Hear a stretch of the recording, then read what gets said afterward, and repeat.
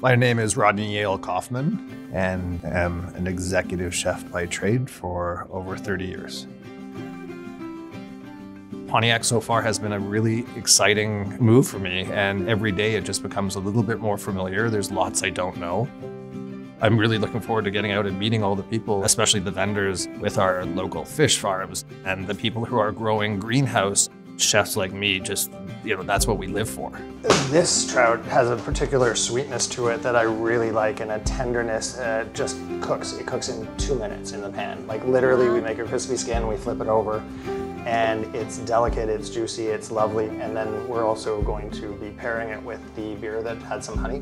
And then we're doing corn with some sweetness, some sweet peas. We're gonna do some deep fried Brussels sprouts and then we're gonna have some fun with it.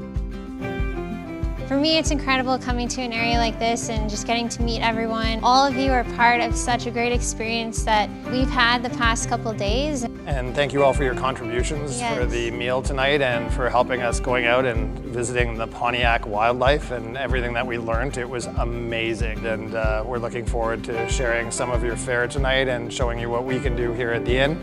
Thanks, everyone.